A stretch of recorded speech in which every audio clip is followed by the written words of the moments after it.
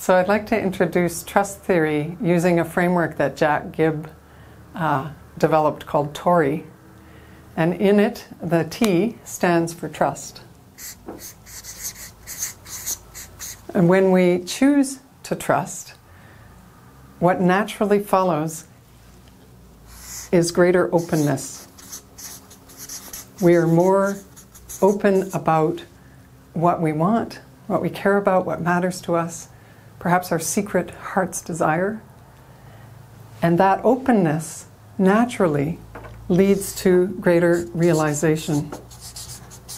We're more likely to get what we want, what we care about, what really matters to us when we're more open. And then realization naturally, this cascade from trust to openness to realization leads to greater interdependence. Interdependence.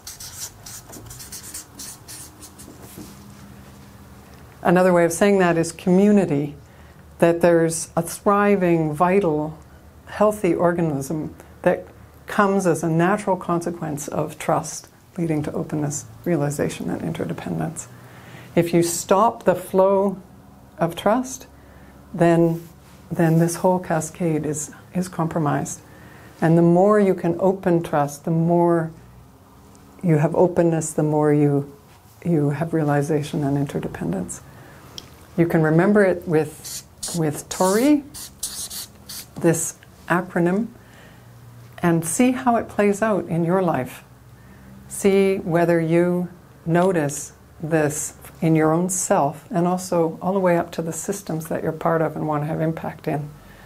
How cultivating trust and choosing trust increases the health and the vitality of those systems um, in this beautiful cascade.